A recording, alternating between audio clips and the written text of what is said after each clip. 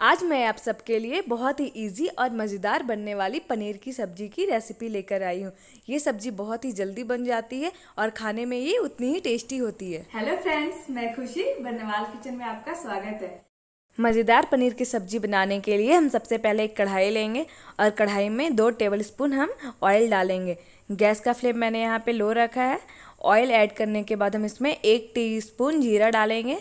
फिर हम यहाँ पे तीन हरी मिर्च डालेंगे, बारीक कटी हुई, दो तेज पत्ता और साथ ही मैं यहाँ पे चार लौंग डाल रही हूँ।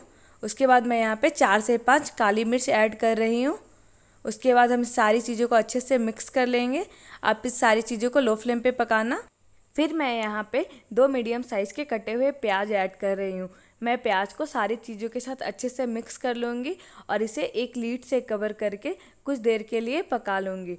तो हम इसे दो से तीन मिनट के लिए पका लेते हैं। गैस का फ्लेम हम यहाँ पे लो ही रखेंगे। तो यहाँ पे दो से तीन मिनट हो गए हैं। आप देख सकते हो, प्याज सारी चीज़ों के साथ मिक्स हो गया है और इसका हल्का सा कलर भी चेंज हो गया है। तो अब हम यहाँ पे एक बड़ा टमाटर ऐड करेंगे। तो टमाटर को मैंने बारीक कट कर लिया था। मैंने यहाँ पे दो प्याज और एक टमाटर लिया था। अब हम टमाटर को सारी चीज़ों के साथ अच्छे से मिक्स कर लेंगे और इसके बाद हम यहाँ पे एक एक करके मसाले ऐड करेंगे। तो सबसे पहले हम ऐड करेंगे एक टीस्पून जीरा पाउडर। उसके साथ ही यहाँ पे ऐड करेंगे एक टीस्पून धनिया पाउडर। फिर हम डालेंगे यहाँ पे हल्दी। तो हम यहाँ पे हाफ़ टी स्पून हल्दी ऐड कर रहे हैं। फिर इसमें जाएगा गरम मसाला, एक टीस्पून कश्मीरी मिर्च पाउडर हाफ़ टी स्पून और नमक जाएगा यहाँ पर टेस्ट के अकॉर्डिंग। सारे मसाले हमने ऐड कर लिए हैं। अब इसे हम एक बार अच्छे से मिक्स कर लेंगे और मिक्स करते हुए थोड़ी देर पका लेंगे। जब ये अच्छे से मिक्स हो जाए तो फिर हम क्या करेंगे? एक लीड लेंगे और लीड से कवर करके इसे चार से पाँच मिनट के लिए पका लेंगे। इसे आप तब तक पकाएँ जब तक कि इसके ऊपर से आपको तेल ना दिखने लग जाए या मसाले अच्छे से पक ना जाए। तो आप देख सकते हो, हमें चारों तरफ़ से तेल दिख रहा है और मसाले प्याज, टमाटर के साथ अच्छे से पक चुके हैं। तो हम एक स्पैचुला की हेल्प से इसे अच्छे से मिक्स कर लेंगे। आप सारे प्रोसेस को लो फ्लेम पे करना। सारी चीज़ों को मिक्स करने के बाद हम इसमें हाफ़ कप पानी ऐड करेंगे। तो मैं यहाँ पे पानी ऐड कर रही हूँ। इसके बाद हम इसे एक बार फिर से मिक्स कर लेंगे। और एक लीड लेंगे और लीड की हेल्प से हम इसे कवर कर देंगे और इसे पाँच से छः मिनट के लिए पका लेंगे। थोड़ी देर के बाद हम इसे चेक कर लेते हैं। तो आप देख सकते हो प्याज टमाटर के ऊपर तेल पूरी तरह से अच्छे से दिखने लग गया है। इसका मतलब ये है कि हमारे मसाले अच्छे से पक चुके हैं। हम एक स्पैचुला लेंगे और उसकी हेल्प से सारे मसालों को इस तरीके से मैश कर लेंगे। क्योंकि हमें पनीर की ग्रेवी बनाने के लिए इसी तरह का टेक्सचर चाहिए। तो आप इस तरीके से इसे मैश कर लेना। सारी चीज़ों को मैश करने के बाद हम यहाँ पे 200 ग्राम पनीर ऐड करेंगे।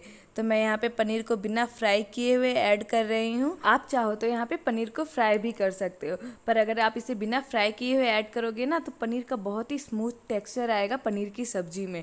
तो सारी चीज़ों को मैंने यहाँ पे मिक्स कर लिया है। अब हम एक लीड लेंगे और उसके हेल्प से इसे कवर करके थोड़ी देर के लिए पका लेंगे। तो आप यहाँ पे देख सकते हो कि पनीर भी सारी चीज़ों के साथ अच्छे से पक चुका है। तो हम इसे अच्छे से मिक्स कर लेंगे। और पनीर बहुत सॉफ्ट है, आप इसे हल्के हाथों से चलाना, नहीं तो आपके पनीर टूट सकते हैं। अब हमें यहाँ पे पानी ऐड कर लेंगे ग्रेवी के लिए। आप पानी अपने अकॉर्डिंग ऐड करना, जितनी ग्रेवी आपको चाहिए, क्योंकि सारी चीज़ें तो यहाँ पे अच्छे से पक चुकी है, बस हमें ग्रेवी के लिए पानी ऐड करना है। इसके बाद हम इसमें एक अच्छा सा बॉईल आने देंगे और जब बॉईल आ जाए तो हम इसमें लास्ट में ऐड करेंगे थोड़ा सा गरम मसाला। इससे बहुत अच्छा टेस्ट और खुशबू आता है सब्ज़ी में। अब हम इसे फिर से ढककर थोड़ी देर के लिए पका लेंगे, जब तक कि पानी अच्छे से सूख ना जाए या हमें जैसी ग्रेवी चाहिए वैसी ग्रेवी रेडी ना हो जाए। तो यहाँ पे मुझे इस तरीके की ही ग्रेवी चाहिए। तो मैं इसे इतना ही सुखा रही हूँ। हमारी ग्रेवी रेडी हो चुकी है। मुझे जैसा टेक्सचर चाहिए था, हमारी सब्ज़ी बन चुकी है। तब हम गैस का फ्लेम यहाँ पे बंद कर लेंगे और इसे सर्व कर लेंगे। तो सर्व करने के लिए मैंने यहाँ पे एक सर्विंग ट्रे लिया है। आप देख सकते हो ना, हमारी पनीर की सब्ज़ी कितनी टेस्टी बनी है, ये कितनी अच्छी दिख रही है और इससे बहुत अच्छी खुशबू भी आ रही है। इस ग्रेवी वाली पनीर की सब्ज़ी को आप राइस, पराठे या पूरी किसी के साथ भी खा सकते हो, ये बहुत ही मज़ेदार बनी है। तो फ्रेंड्स, अगर आपको मेरी ये रेसिपी पसंद आई है तो प्लीज़ मेरे वीडियो को लाइक करें, मेरे चैनल को सब्सक्राइब करना ना भूलें।